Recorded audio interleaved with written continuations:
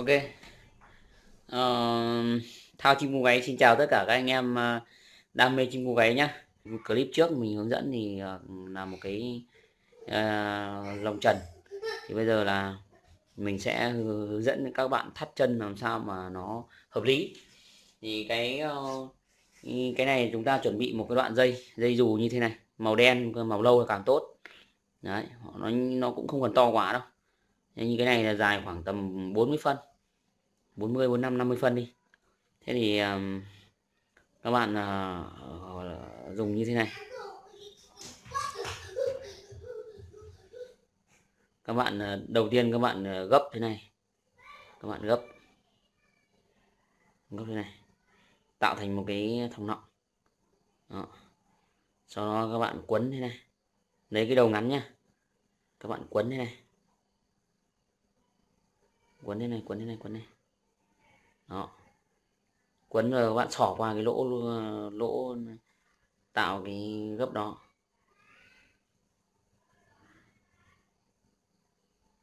Đó. Sau đó các bạn thắt. Đó. thắt, đó.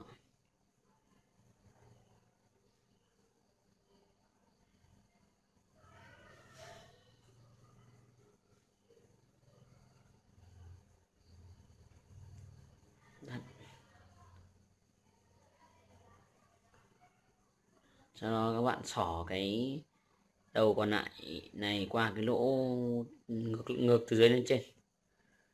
Đó.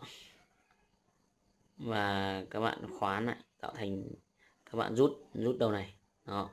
Thì như thế nó tạo thành một cái thòng lọng các bạn nhé. Đó, đó lại thòng lọng.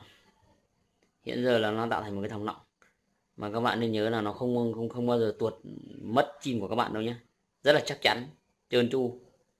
Nó còn cái phần ngắn ờ, thừa này thì các bạn có thể cắt bỏ. Và các bạn ờ, ở đây mình có chuẩn bị một con dao lam cắt bỏ. Cho nó thẩm mỹ. Rồi, bây giờ là các bạn đã có được cái thòng nọng rất là trơn tru, đúng không? Đấy, các bạn hình dung đây là cái chân của con chim như các bạn thắt như này. Đấy. Thì vấn đề ở đây là các bạn thắt con chim như là làm sao để cho nó không bị nó không bị hại cái chân. Và nó rất là dễ chịu cho con chim mà nó được bền. Đấy. Thì uh, các bạn có thể là là là uh, dùng cái uh, bước tiếp theo bước đầu tiên là các bạn làm cái cái cái cái thòng lọng. Cái này nó gọi là cái thòng lọng đi. Đó. mình thấy nó rất là trơn tru. Đó. Trơn tru. Đó bước thứ hai nhá các bạn căn cho mình là từ cái chỗ nút thòng nọng này. Đây là cái phần co ra co vào này. Đấy. Các bạn căn từ cái chỗ này đến cái chỗ này khoảng một phân rưỡi. Đó. Đấy thì các bạn nới ra cho nó dễ làm. Một phân rưỡi. Đó đây từ chỗ này đến chỗ này một phân rưỡi. Các bạn gấp lại. Đó, một phân rưỡi thôi từ một phân à, một phân hai đến một phân rưỡi. Các bạn gấp thế này, đây nha, các bạn lấy như này. Đây là cái, đây là cái cái cái cái thòng nọng đó, các bạn gấp thế này. Và các bạn thắt thắt ngưỡng thắt ngưỡng ở đây. Và lấy nó buộc nó nhé ok. Lấy nó buộc nó. Các bạn buộc làm sao cho nó khéo một chút. Đó. cái đầu này nó chỉ dư ra khoảng mấy ly thôi. Và các bạn thắt chặt vào. Mục đích của của cái này là là gì? Là và các bạn thắt một lần nữa. Các bạn thắt một lần nữa để cho nó khỏi bị tuột ra. Dây dù thì các bạn có thể làm cái dây khác, nhưng mà đây là mình đang mô phỏng cái cách thắt thôi.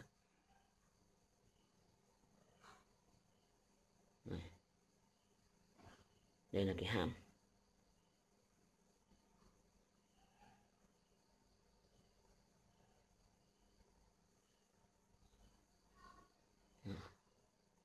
thì cái hãm này nó cứ vậy thôi nó cũng không thể tuột được.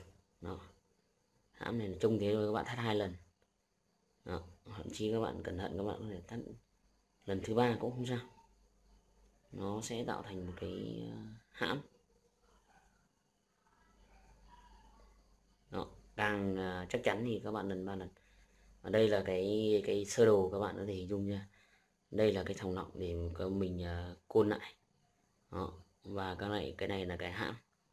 Theo nguyên lý của cái giò bẫy chim đó. thì nó, nó hãm lên đây. Đó. đó đến đây. Thì các bạn lấy một phân rưỡi thì như chỗ này thì cái cổ cổ chân con chim không tuột được. Nó có bốn con chân. Đó. thì các bạn à, để tầm này các bạn đưa đưa các ngón chân con chim vào các bạn thắt. Nó thắt vào. Đó, và đến đây nó bị hãm lại đó, cái vòng nó chỉ thế này thôi. Thì cái con chim này nó nó đang đang buộc theo nguyên lý như vậy. Đây là cái phần uh, phần chân. Nó cái phần chân. Nó nó chân này. Đó. Mình chưa cắt bớt bỏ cái dâu nhưng mình uh, biết chắc một điều là cái cái này nó sẽ cái này nó sẽ khi con chim nó đi ra xa thì nó tự nó co lên. Đó tự nó co lên. Và cái này các bạn ờ, xỏ qua một cái lỗ quạt. Đấy đấy. Đấy nó cứ thế này thôi. Mà nó các bạn nhớ là cái này nó chỉ nhẹ vừa phải nhá. Đây là mình tận dụng cái đồ chơi câu cá ờ, vỡ của các cháu như mình. Đó.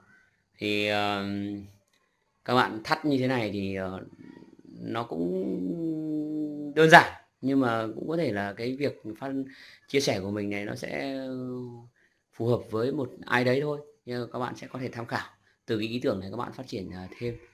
Hy vọng rằng cái ờ, để ờ, ờ, đó thì các bạn thấy không? Thì khi con chim nó di chuyển nó di chuyển thì bản thân nó không thể chui qua cái gầm của cái cầu này được.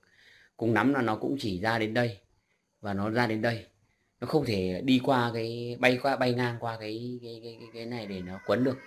Bởi vì khi các bạn thấy hình dung nó đi đến đây là nó bị giới hạn rồi đó các bạn à, để mình cho nó ra cái miệng quạt. Đó, ok. Đó đó. Thấy chưa? Các bạn thấy là nó nó nó ra nó ra trên cái cái bị cái cái miệng quạt rồi. Đó đó. Thì uh, đấy con này là của mình cũng bón từ nhỏ nó cũng khá thuần nhưng mà nó cũng mới xích từ tối giờ nó cũng hơi bận bận. Nhưng các bạn thấy cái chân của nó xích như thế này thì làm sao mà nó bị bị hỏng chân được? Nó rất là thoải mái thôi. Rồi nó cũng sẽ quen. Cái cảm giác của nó dần dần nó cũng, nó cũng sẽ quen. Đó, hy vọng rằng các bạn sẽ uh, comment hoặc là có ý kiến để bổ sung thêm cái ý tưởng này. À, một lần nữa thao chim cu gáy ở ngoài miền Bắc. Số điện thoại là 0163 5305 982 à, à, đóng góp một cái ý tưởng nhỏ nhỏ. À, một cái uh, cái lồng trần. Một cái lồng trần như thế này thì ờ, mình cũng làm tranh thủ 15 phút buổi trưa. Bao gồm là một cái lồng quạt, một cái cầu bọng, một ít dây thép, một cái kìm và một cái móc tận dụng từ một cái lồng cũ và một cái ờ, ống dây đồng chừng khoảng ờ, 70 phân 70 80 phân 7 80 phân. Cái dây dù này thì mình xin được, nó cũng chả tôn kém gì cả. Đó. Thì các bạn thấy không rõ ràng là đây là mình đã có được một tác phẩm à, là một chú chim trần. Và khi mà con chim nó di chuyển thì cái cái con cá này nó sẽ co lên.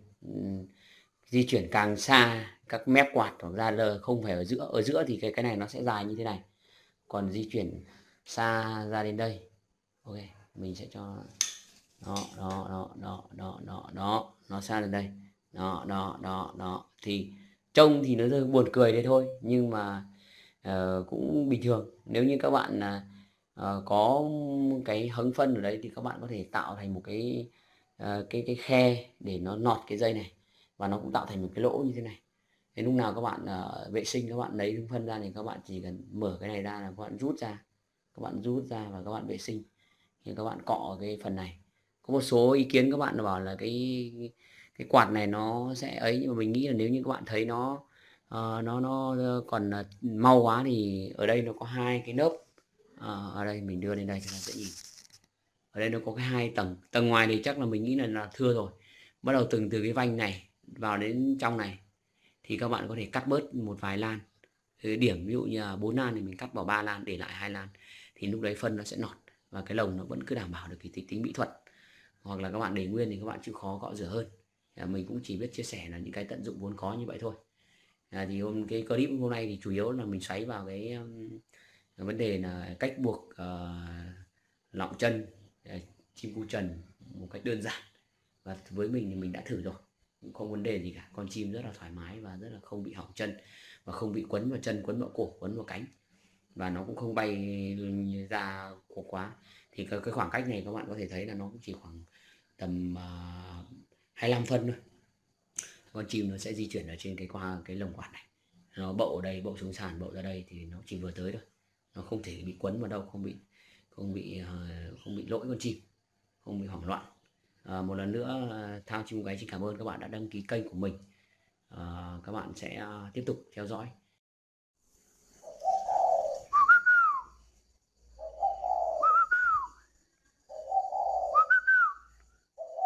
Các bạn đang theo dõi clip của thao chim cô gáy.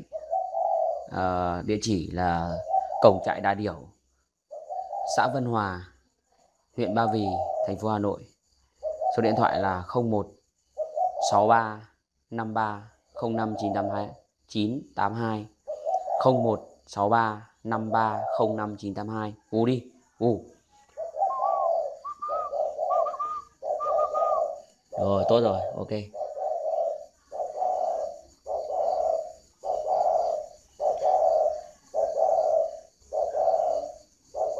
Rồi thôi. Thôi thôi thôi thôi. Thôi gáy đi. Đấy,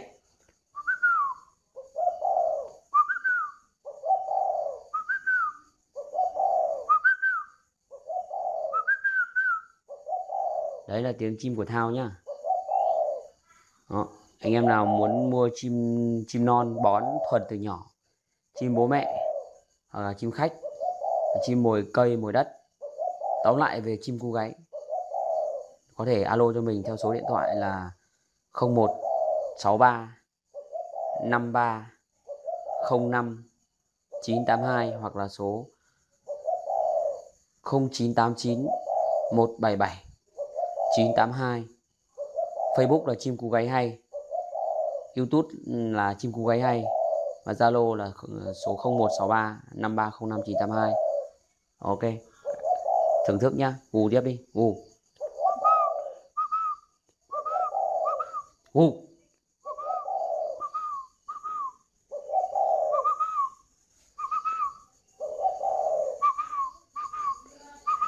ngủ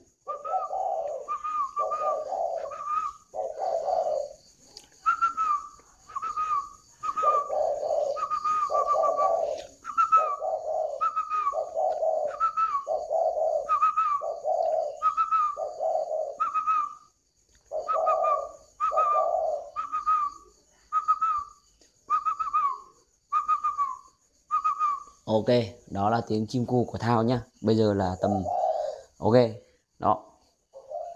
Rồi, ok ok ok. Thao cảm ơn tất cả các fan hâm mộ trên ờ, kênh ờ, chim cu quay hay của thao nhá.